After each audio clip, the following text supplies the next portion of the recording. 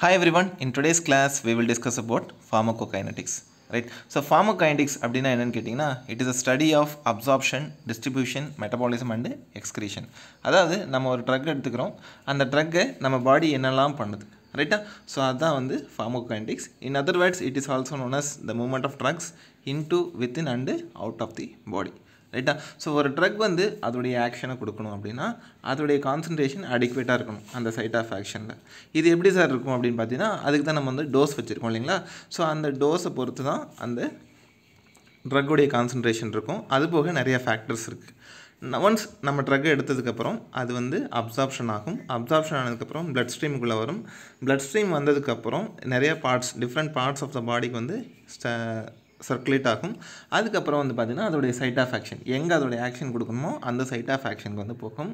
அதுக்கப்புறம் மெட்டபாலிசம் அப்புறம் excretion so excretion பொறுத்த வரைக்கும் கிட்னிஸில் நடக்கும். மெட்டபாலிசம் பொறுத்த வரைக்கும் மேக்ஸிமம் லிவரில் நடக்கும். ரைட்டுங்களா ஸோ நெக்ஸ்ட்டு இந்த ப்ரா இந்த ப்ராசஸ் எல்லாமே வந்து பார்த்திங்கன்னா ஒரு டிரான்ஸ்போர்ட் நிறையா அந்த ட்ரக் மாலிகுல் வந்து பார்த்திங்கன்னா டிரான்ஸ்போர்ட் ஆகி வரணும். நிறைய பேரியர்ஸ் இருக்குது அந்த பேரியர்ஸ் எல்லாம் கடந்து வரணும். என்னென்ன பேரியர்ஸ் சார் அப்படின்னு பார்த்தீங்கன்னா industrial epithelium cell membrane filtering membrane capillary barrier and so on right so இந்த மாதிரி நிறைய பேரியர்ஸை கே தாண்டி தான் ட்ரக் வந்து அதோடைய சைட் ஆஃப் ஆக்ஷனுக்கு வந்து போகும். ரைட்டா ஸோ இந்த பேரியர்ஸை கிராஸ் பண்ணும்போது ட்ரக் வந்து பார்த்தீங்கன்னா cell மெம்பரேனார் it it must pass between the epithelial or endothelial cells right so இந்த செல் மெம்பரின் ஆர் பயாலஜிக்கல் மெம்பரின் இது வந்து பார்த்திங்கன்னா ரெண்டு லேயரால் மேடாக இருக்குது ஸோ என்ன லேயர்ஸ் அப்படின்னு பார்த்தீங்கன்னா ஃபாஸ்போலிபிட்ஸ் அண்டு ப்ரோட்டீன் மாலிகுல்ஸ் எல்லா லிபிட்ஸ் சாலிபிள் மாலிகுல்ஸும் வந்து பார்த்தீங்கன்னா ஈஸியாக வந்து இந்த பாஸ்போலிபிட்ஸ் கூட மிங்கிள் ஆகி ஈஸியாக வந்து ட்ரான்ஸ்ஃபர் ஆயிரும். ரைட்டுங்களா ஏன்னா செல் மெம்பரியில் மேக்ஸிமம் வந்து பாஸ்போலிபிட்ஸ் இருக்கிறதுனால ரைட் ஸோ வாட்டர் சாலிபிள் ட்ரக்ஸாக என்ன சார் ஆகும் அப்படின்னு பார்த்தீங்கன்னா நம்ம செல்லு நடுவிலே வந்து பார்த்தீங்கன்னா குட்டி குட்டி போர்ஸ் இருக்கும். அந்த போர்ஸ் நடுவில் வந்து வாட்டர் சாலிபிள் ட்ரக்ஸ்லாம் வந்து பார்த்தீங்கன்னா ஈஸியாக வந்து ஃபில்டர் ஆகி உள்ளே வந்துடும் ரைட்டா இன்னும் சில சப்ஸ்டன்ஸ்லாம் வந்து பார்த்தீங்கன்னா ஒரு ஸ்பெஷலைஸ்டு ஒரு கேரியர் டிரான்ஸ்போர்ட் அப்படின்னு சொல்லுவாங்க. என்னென்னா ஒரு கே ஒரு ப்ரோட்டீன் மாலிகுல் வந்து அதுக்கு வந்து ஒரு கேரியராக வந்து ஆக்ட் ஆகும். அந்த ப்ரோட்டீன் மாலிகுல்ஸ் வந்து அந்த ட்ரக்கை வந்து எடுத்துகிட்டு போய் அந்த சைட் ஆஃப் ஆக்ஷன் வந்து விட்டுரும்.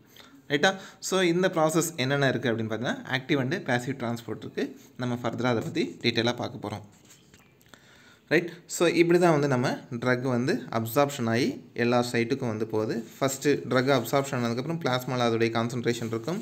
பிளாஸ்மாவில் வந்ததுக்கப்புறம் அதோடைய சைட் ஆஃப் ஆக்ஷனுக்கு போகலாம். இல்லை அப்படின்னா டிஷ்யூவில் ஸ்டோர் ஆகலாம். சம்டைம்ஸ் வந்து பார்த்தீங்கன்னா ஸ்ட்ரைட்டாகவே எக்ஸ்க்ரீட் ஆக சான்ஸ் இருக்குது இன்னும் மெட்டபாலிசம் எப்படி ஆகுதுன்னு பார்த்தீங்கன்னா பிளாஸ்மாவிலேருந்து ஸ்ட்ரைட்டாக வந்து அதோடைய சைட் ஆஃப் மெட்டபாலிசம் அங்கே போயிட்டு மெட்டபாலிசம் ஆனதுக்கப்புறம் எக்ஸ்க்ரீட் ஆகும்.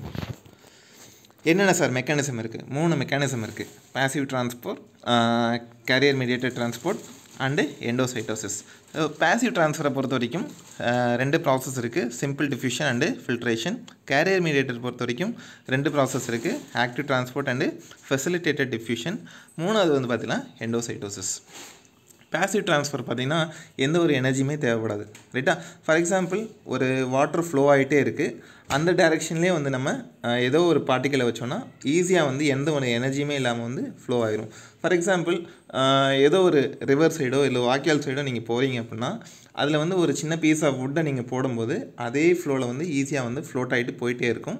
அது வந்து அந்த வாட்டருங்கிறது கான்சன்ட்ரேஷன் கிரேடியண்ட்டாக ஞாபகம் வச்சுக்கோங்க. அந்த வாட்டர் வந்து எந்த டைரெக்ஷனில் ஃப்ளோ ஆகுதோ அது வந்து டைரெக்ஷன் ஆஃப் கான்சன்ட்ரேஷன் கிரேடியன்ட் அந்த டைரெக்ஷன்லேயே நம்ம ட்ரக் மாலிகளும் வந்து போச்சு அப்படின்னா அந்த ட்ரான்ஸ்ஃபருக்கு பேர் பேசிவ் ட்ரான்ஸ்ஃபர் இதுக்கு வந்து எந்த ஒரு எனர்ஜியுமே தேவைப்படாது. ரைட்டா ஸோ இதை வந்து சிம்பிள் டிஃப்யூஷன் ப்ராசஸ் நெக்ஸ்ட் வந்து ஃபில்ட்ரேஷன் ப்ராசஸ் நான் ஆல்ரெடி சொன்ன மாதிரி எந்த ட்ரக்கெல்லாம் வாட்டர் சாலிபிள் ட்ரக்கோ அது வந்து நம்ம செல் மெமரியில் இருக்க செல்லில் இருக்கக்கூடிய அந்த போர்ஸ் வழியாக வந்து ஃபில்டர் ஆகி உள்ளே வந்துடும் ரைட்டா ஸோ இதுக்கு வந்து எந்த வகை எனர்ஜியும் வந்து தேவைப்படாது. Right so this is the process இந்த இடத்துல வந்து பார்த்தீங்கன்னா நம்ம எடுத்துக்கூடிய ட்ரக் வந்து எந்த கான்சன்ட்ரேஷன் கிரேடியன்ட் இருக்கோ அந்த டேரக்ஷன்லேயே வந்து ஃப்ளோ ஆகி உள்ளே வந்துடும் இன்னும் சில ட்ரக்லாம் வந்து பார்த்தீங்கன்னா அக்வஸ் போர்ஸ் சொன்னோம் இல்லைங்களா? அந்த போர்ஸ் வழியாக ஃபில்டர் ஆகி ஃபுல்லாக வந்துடும் ரைட்டா so this is the difference between filtration and simple diffusion next carrier mediated transport so carrier mediated transport வந்து இதில் முக்கியமான ஃபஸ்ட்டு டைப் பார்த்தீங்கன்னா ஆக்டிவ் டிரான்ஸ்போர்ட் ஸோ ஆக்டிவ் டிரான்ஸ்போர்ட்டை பொறுத்த வரைக்கும் ட்ரக் வந்து நம்ம வந்து இப்போது எதிர்நீச்சல் போடுற கணக்கில் நீங்கள் ஞாபகம் வச்சுக்கோங்க. ரைட்டா ஸோ கான்சன்ட்ரேஷன் கிரேடியன்ட் ஒரு டேரெக்ஷனில் இருக்கும். நம்ம ட்ரக்கு அதுக்கு ஆப்போசிட் டேரெக்ஷனில் போகும். ரைட்டா இப்படி ஆப்போசிட் டேரெக்ஷனில் போகிறதுக்கு வந்து நிறைய எனர்ஜி தேவைப்படும். எனர்ஜி தேவைப்படும். அது மட்டும் இல்லாமல் ஒரு கேரியர் மாலிகுல் வேணும். ரைட்டா ஸோ அது கேரியர் மாலிகுல் என்ன சார் அப்படின்னு பார்த்தீங்கன்னா மேக்ஸிமம் வந்து இது வந்து ப்ரோட்டீன் மாலிகுலாக வந்து இருக்கலாம். எக்ஸாம்பிள்ஸ் பொறுத்த வரைக்கும் ட்ரக் சம் ஒரு நேச்சுரல் மெட்டபிளைட்ஸாக இருக்கக்கூடிய ட்ரக்ஸ் லைக் லீவோடோபாயின் அமினோ ஆசிட்ஸ் அந்த மாதிரி இருக்கக்கூடிய ட்ரக்ஸ்லாம் வந்து பார்த்திங்கன்னா கேரியர் மீடியட் டிரான்ஸ்போர்ட் வந்து ஆகும்.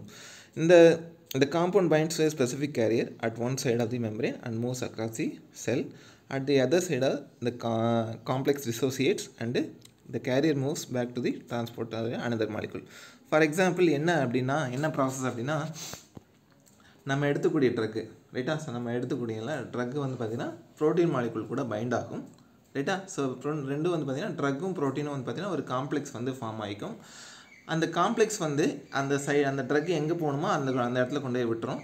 அதுக்கப்புறம் வந்து அந்த அதில் அந்த ட்ரக்கும் ப்ரோட்டீனும் வந்து டிசோசியேட் ஆகிடும் அந்த காம்ப்ளெக்ஸ் வந்து டிசோசியேட் ஆகிடும் ட்ரக்கு தனியாக ப்ரோட்டீன் தனியாக வந்துடும் அந்த ட்ரக் வந்து சைட் ஆஃப் ஆக்ஷன் போயிடும் ப்ரோட்டீன் வந்து பார்த்திங்கன்னா ஷேர் ஆட்டோ மாதிரி மறுபடியும் அந்த இடத்துக்கே வந்து வந்துடும் மறுபடியும் புதுசாக ஏதாவது ட்ரக் வருதா? அவனை கொண்டு போய் விடுறதுக்கு வந்து வந்துடும் next facilitated diffusion so facilitated டிஃப்யூஷனுங்கிறது ஒரு யூனிக் ஃபார்ம் ஆஃப் டிரான்ஸ்போர்ட் இது வந்து ஆக்டிவ் டிரான்ஸ்போர்ட்டை விட எப்படி சார் டிஃபர் ஆகுது அப்படின்னா இது வந்து எனர்ஜி இதுக்கு வந்து எனர்ஜி தேவைப்படாது.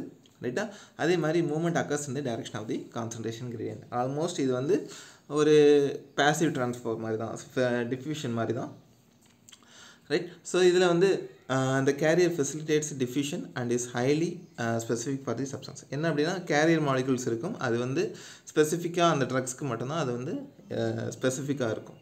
ரைட்டா ஸோ இதை வந்து carrier may active and passive transport and facilitated diffusion just நீங்கள் வந்து இதை பார்த்தீங்கனாலே உங்களுக்கு புரிஞ்சிடும் நெக்ஸ்ட் எண்டோசைட்டோசிஸ் இருக்குது ஸோ எண்டோசைட்டோசிஸ் பொறுத்த வரைக்கும் ஸ்மால் மாலிகுல்ஸ் ஆஃப் ட்ரக்ஸ் அது வந்து பார்த்திங்கன்னா செல் uh, விலங்குதல் அப்படின்னு சொல்லிட்டு ஃபேகோசைட்டோசிஸில் பார்த்துருக்கோம். சேம் ப்ராசஸ் தான் இங்கேயும். எண்டோசைட்டோசிஸ்ங்கிறது குட்டி குட்டி ட்ர ட்ரக்குடைய ட்ராப்லெட்ஸை வந்து நம்ம செல் வந்து என்கல்ஃப் பண்ணிக்கும். ரைட்டா என்ன process like pinocytosis in amoeba this process is currently being tried for deli delivery of some anti cancer drugs to the tissues so இது வந்து இந்த இண்டோசைட்டோசிஸ் வச்சு தான் கேன்சர் ட்ரக்ஸ் வந்து டெவலப் பண்ணிகிட்ருக்காங்க நவடேஸ் இதுக்கு ரிவர்ஸ் ப்ராசஸ் வந்து எக்ஸோசைட்டோசிஸ் இது வந்து நிறையா சப்ஸ்டன்ஸுடைய செக்ரேஷனுக்கு வந்து யூஸ்ஃபுல்லாக இருக்குது like neuro transmitters in nerve endings right thank you